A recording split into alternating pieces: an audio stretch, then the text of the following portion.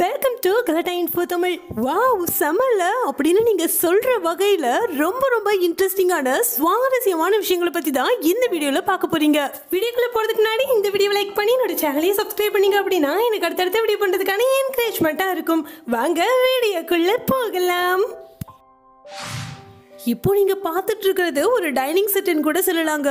Dining டேபிள அலங்கரிக்கிறதுக்காக cloth spoon plate பவுல்னு சொல்லிட்டு ரொம்பவே அழகான டைனிங் செட்ஸ்லாம் இருக்கும். அதுல ஒன்று தான் இப்போ நீங்க பார்த்துட்டு இருக்கிறது இதுக்கு பேரு கேட் கிரேவி போட்டுன்னு சொல்றாங்க. இது பார்க்கறதுக்கு கேட் வடிவத்தில் வரும். கேட் வாயை திறந்து இருக்கிற மாதிரியும் இந்த பாட்டுக்குள்ளே இருக்கிற குழம்போ இல்லைன்னா மயோனிஸ் சாஸ் இது எல்லாத்தையும் நம்ம லைட்டாக சாக்கிறது மூலமாக அதனுடைய வாயிலிருந்து வெளியே கொட்டுற மாதிரி இருக்கும். இது பார்க்கறதுக்கு கேட் வாமிட் பண்ணுற மாதிரி இருக்குல்ல? பார்க்கறதுக்கு ஆக்வர்டாக இருந்தாலும் கொஞ்சம் வித்தியாசமாக தான் இருக்குது நம்ம நார்மலாக அவிச்ச முட்டையை கட் பண்ணணும்னா கத்தியை யூஸ் பண்ணுவாங்க. ஆனால் இவர் ஸ்ப்ரிங்கை யூஸ் பண்ணுறாரு இந்த ஸ்ப்ரிங்கை வச்சு இந்த முட்டையை கட் பண்ணதுக்கப்புறம் அந்த முட்டையுடைய சைஸே வித்தியாசமாக அழகாக இருக்குல்ல? ரெஸ்டாரண்ட்லலாம் உணவுகளை அலங்கரிக்கிறதுக்காக இந்த மாதிரி செய்வாங்க. இனி இந்த ட்ரிக் தெரிஞ்சதுக்கப்புறம் நம்ம வீட்டில் கூட இதை மாதிரி செஞ்சு அசத்தலாம். இது என்ன விலங்குன்னு உங்களால் கண்டுபிடிக்க முடியுதா? ஆமாங்க பைத்தான் பாம்பு தான். இந்த பைத்தான் பாம்பு ஏதோ ஒன்று முழுங்கிருச்சு. ரெண்டாயிரத்தி இருபதாவது வருஷம் இந்த பைத்தான் பாம்பு ஒரு ஹாஸ்பிட்டலில் அட்மிட் ஆயிருக்கு. எல்லா டாக்டர்ஸும் சேர்ந்து அதனுடைய வயிற்றுக்குள்ளே இருந்து இந்த பொருளை வெளியே எடுக்கிறதுக்கு முயற்சி பண்ணுறாங்க அப்படி இந்த பாம்பு என்னத்தை தான் முழுங்கி தொலைஞ்சிச்சு அப்படின்னு பார்த்தா டர்க்கி டவல்ஸ்லாம் இருக்கும் இல்லையா? அது அப்படியே முழுசாக முழுங்கியிருக்குங்க ஒருவேளை அந்த டவல் பிங்க் கலரில் இருந்ததுனால அந்த டவல் பார்க்குறதுக்கு முயல் குட்டி மாதிரி அந்த பாம்புக்கு தெரிஞ்சிருக்குமோ? எனிவேஸ் அந்த பாம்புக்கு அனஸ்தீசியா கொடுத்து அந்த டாக்டர்ஸ் அந்த டவலை அதனுடைய வயிற்றுல இருந்து உருவி எடுத்துட்டாங்க.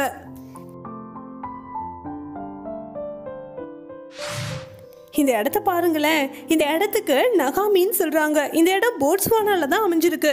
இது சதுப்பு நில பகுதி மாதிரி தெரியுதுல்ல. கிட்டத்தட்ட இரநூத்தி தொண்ணூற்றி ஏழு ஸ்கொயர் மைல்ஸ் அளவுக்கு இது பறந்து விரிஞ்சு காணப்படுது.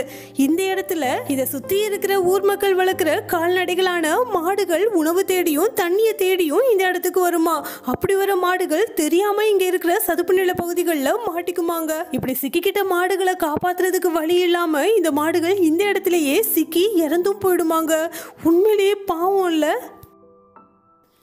இந்த பொண்ணு அவங்களுடைய கையில் வச்சிருக்கிறது பலாப்பழம் தாங்க பலாப்பழத்தை அதனுடைய தோலை மட்டும் உரிச்சிட்டு உள்ளே இருக்கிற அந்த பலாப்பழ சுளைய அப்படியே வச்சிருக்காங்க. பார்க்கறதுக்கே டெம்டிங்காக இருக்குல்ல? இதே நம்மளா இருந்தோன்னா அதை உரிக்க உரிக்க எடுத்து சாப்பிட்டுக்கிட்டே இருந்திருப்போம். ஏதாவது பெரிய பெரிய பில்டிங்லாம் கட்டினாங்கன்னா கல்வெட்டு பதிப்பாங்க. இந்த பில்டிங்கை யாரு கட்டினாங்க? யாரெல்லாம் நன்கொடை கொடுத்தாங்க? எப்போ கட்டினாங்க அப்படின்னு சொல்லிட்டு அதுக்காக அவங்க யூஸ் பண்ணுறது உளி தாங்க உளியை வச்சு தான் இந்த மாதிரி கல்வெட்டில் செதுக்குவாங்க. ஆனால் அதுக்கும் ஒரு மிஷின் வந்துருச்சு. இந்த மிஷின் எவ்வளோ அழகாக நீட்டாக அந்த கல்வெட்டில் எழுதுதுன்னு பாருங்கள் நம்ம எங்கேயாவது ஃப்ரெண்ட்ஸோட அவுட்டிங் போகிறோம் அப்படின்னா கையோட செல்ஃபி ஸ்டிக்கையும் கொண்டு போக வேண்டிய சூழ்நிலை ஏற்படுங்க. ஆனால் இனிமேல் அந்த செல்ஃபி ஸ்டிக்கையும் எக்ஸ்ட்ராவாக தூக்கிட்டு போக வேண்டிய அவசியமே இல்லை. இதை பாருங்களேன். இது லேடிஸ் போடுற ஸ்லிப்பர் தாங்க. இந்த ஸ்லிப்பரை நம்ம செல்ஃபி ஸ்டிக்காகவும் யூஸ் பண்ணிக்கலாமா? இந்த ஸ்லிப்பருக்கு முன்னாடி மொபைல் ஃபோன் மட்டும் போகிற மாதிரியான ஒரு கேப் கொடுத்துருப்பாங்க. அதில் நம்ம மொபைல் ஃபோனை விட்டு நம்மளுடைய கால் பாதங்களில் இருக்கிற விரல்கள் மூலமாக ஹோல்ட் பண்ணிக்கணுமா? அதுக்கப்புறம் நம்மளுடைய காலை லைட்டாக தூக்கி செல்ஃபி ஸ்டிக் மாதிரி யூஸ் பண்ணி செல்ஃபி எடுத்துக்கலாமா? எப்படா இப்படிலாம் கண்டுபிடிக்கிறீங்க? பிராண்டியை நிறைய பேர் கேள்விப்பட்டிருப்போம். ஒயின் ஷாப்ல விற்பனை செய்வாங்க. இந்த பிராண்டியை முதன் முதலா எதுக்காக கண்டுபிடிச்சிருக்காங்க தெரியுமா?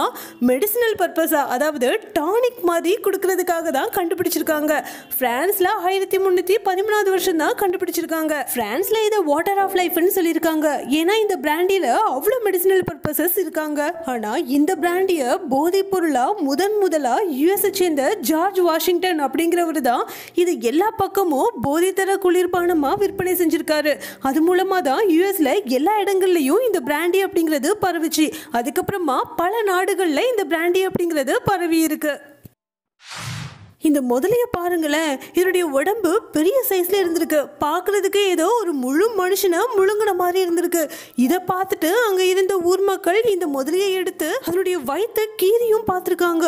பார்த்தா செம ஷாக்கு அதனுடைய வயிற்றுக்குள்ள நிறைய முட்டைகள் இருந்திருக்கு. கிட்டத்தட்ட முப்பது முட்டைகள் கிட்டே இருந்திருக்குங்க. இது எல்லாமே அந்த முதலையுடைய முட்டைகள் தானா ஏன்னா இந்த முதலை ஒரு பெண் முதலையாங்க. பாவம்ல அந்த முட்டையை போடுறதுக்கு முன்னாடியே இந்த முதலையை கொண்டுட்டாங்க ஆனா ஒரு நல்ல விஷயம் பண்ணாங்க. அந்த முப்பது முட்டைகளையும் சேஃபா பாதுகாப்பா வச்சு அது குஞ்சு பொறிக்கிற வரைக்கும் வெயிட் பண்ணியிருக்காங்க அதுக்கப்புறமா அதுக்குள்ள இருந்து முப்பது முதலை குட்டிகள் வெளியே வந்திருக்கு. அதான் அந்த தண்ணிக்குள்ள சேஃப்டியா விட்டுட்டாங்களாம்.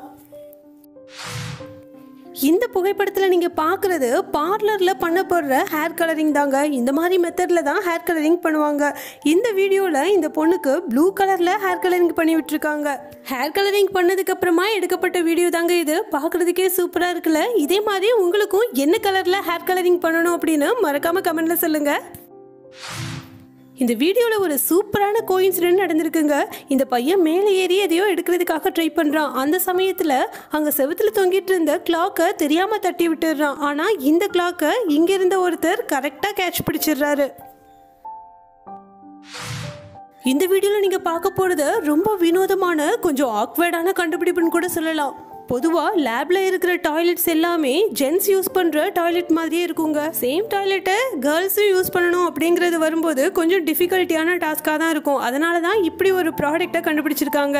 இதை பார்க்கும்போது நான் ஃபஸ்ட்டு ஃபனல்னு நினச்சிட்டேன். அதுக்கப்புறமா தான் தெரிஞ்சது. இதை யூஸ் பண்ணி இந்த ஜென்ஸ் டாய்லெட்லையும் லேடிஸால் யூரின் பாஸ் பண்ண முடியுமாங்க?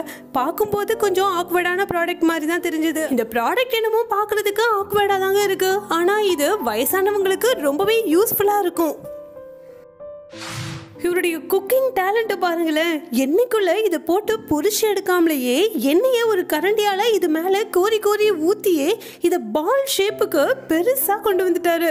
பார்க்குறதுக்கே சூப்பராக இருக்குல்ல. பார்க்க பெரிய சைஸ் பானிபூரி மாதிரி இருக்கு. இது என்ன உணவுன்னு உங்களுக்கு தெரிஞ்சதுன்னா மறக்காம கமெண்ட்ல சொல்லுங்கள் இந்த இடத்த பாருங்களேன் பார்க்குறதுக்கு செம்மையாக இருக்குல்ல. இந்த இடத்த பார்க்கும்போது ஃப்ரோசன் மூவியில் வர அந்த பனிக்கட்டி பேலஸ் மாதிரியே தெரியுதுல்ல. இந்த இடம் மெக்சிகோவில் அமைஞ்சிருக்குங்க. இங்கே வின்டர் டைமில் தண்ணி எல்லாமே ஐஸ் கட்டிகளாக மாறி இந்த டனலில் பார்க்குறதுக்கு ஐஸ் கட்டி பேலஸ் மாதிரியே இருக்குமாங்க. செம்மையாக இருக்குல்ல. இதில் நீங்கள் பார்த்துட்டு இருக்கிறது சிவிங்கம் தாங்க. சிவிங்கம்மை பற்றி நிறைய கான்ட்ரவர்சிஸ் இருக்குது இதை சாப்பிடக்கூடாது உடம்புக்கு கேடு அப்படின்லாம் இருக்குங்க. எல்லாமே ஓகே. இந்த சிவிங்கம்மை பன்னியுடைய கொழுப்பு மூலமாக தயாரிக்கிறாங்கன்னு சொல்கிறாங்க ஆனால் அதுதாங்க கிடையாது. இதை பெட்ரோலியம் பேஸ்டு பாலிமர்ஸ் மூலமாக உருவாக்குறாங்க. அதுவுமே நம்மளுடைய உடம்புக்கு ரொம்ப ரொம்ப கேடு தான் ஸ்பானிஷில் சிவிங்கத்தை சிக்லேன்னு சொல்லுவாங்களாம். நம்ம நாட்டிலலாம் பழங்களை கடையில் வாங்கி வீட்டில் வந்து தான் சாப்பிடுவோங்க. ஆனால் வெளிநாடுகள்லாம் இந்த மாதிரி பழங்களுக்கான ஒவ்வொரு ஃபார்ம் வச்சுருக்காங்க. இந்த இடத்துக்கு நம்மளே டைரெக்டாக போயிட்டு பழங்களை செடியிலிருந்து பறித்து எடை போட்டு வீட்டுக்கு கொண்டு வர முடியுமா? சூப்பராக இருக்குல்ல? இனிதான் உங்களுக்கு மெஹந்தி பிடிக்குமான்னு கேட்டிருக்காங்க. அஃப்கோர்ஸ் மெஹந்தி பிடிக்காம யாருக்காச்சும் இருக்குமா? எனக்கும் ரொம்ப பிடிக்கும். உங்களுக்கு பிடிக்குமா? மெஹந்தி ஓரளவுக்கு தான் வைக்க வரும். உங்களில் யாருக்காச்சும் மெஹந்தி நல்லா வரைய தெரியுமா? இதே மாதிரி உங்களுடைய மட்டும் என்னோட வீடியோ இடம்பெறணும்னு நினச்சிங்கன்னா ஒவ்வொரு நாளும் ஈவினிங் ஆறு மணிக்கு நான் அப்லோட் பண்ணுற வீடியோவில் சில கேள்விகள் கேட்டிருப்பேன். அந்த கேள்விக்கு நீங்கள் மறக்காம கமெண்ட்ல போயிட்டு பதில் சொல்லணும். எந்த பதில் எனக்கு ரொம்ப பிடிச்சிருக்குதோ அந்த பதில் எடுத்து நான் என்னோட வீடியோவில் சொல்லுவேன். இந்த வீடியோ ரொம்ப பிடிச்சிருந்தது அப்படின்னா இந்த வீடியோவை லைக் பண்ணி உங்கள் ஃப்ரெண்ட்ஸ் அண்ட் ஃபேமிலிக்கும் ஷேர் பண்ணுங்க. Thank you friends